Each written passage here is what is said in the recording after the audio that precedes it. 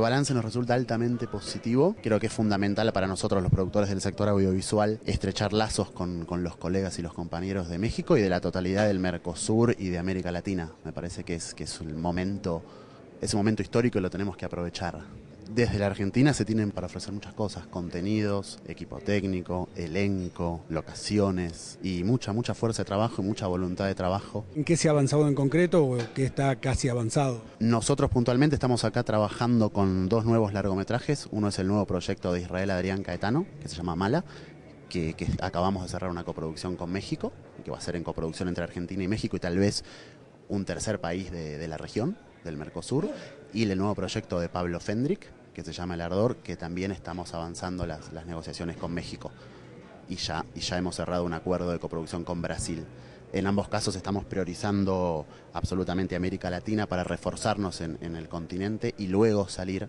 al mercado europeo y eventualmente otros mercados internacionales. ¿Qué es lo que México demanda de la producción audiovisual argentina o necesita? Decir necesita es por ahí es una palabra demasiado grande, porque además México es un país enorme con una potencialidad eh, muy, muy grande, pero lo que sí nosotros podemos ofrecer es el talento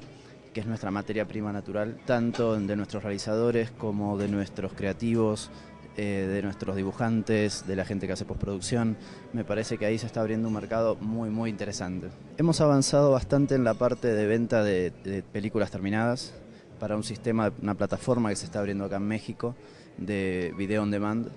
eh, para películas por internet. Eh, bueno, estamos trabajando en la venta de, de las películas que nosotros tenemos terminadas, estamos trabajando en una coproducción que todavía es muy incipiente y estamos instalando una productora aquí, una oficina, eh, para hacer servicios de postproducción eh, que estén ligados a los efectos especiales. ¿La sanción de la Ley de Servicios de Comunicación Audiovisual ayuda en este marco? Ayuda mucho, ayuda mucho porque nos permite, en principio nos ha permitido a nosotros que éramos productores naturales de cine, cruzar la frontera y empezar a involucrarnos en todo lo que es la televisión digital, pensar contenidos para televisión y además todo el, recambio que está viendo en este momento de, las bocas de expendio, por donde antes el cine, el lugar natural era una sala de cine, ahora empieza a ser la internet, la televisión digital y nos está obligando a pensar de otra manera y todo esto gracias a la ley y a que en un año y medio de que existe la ley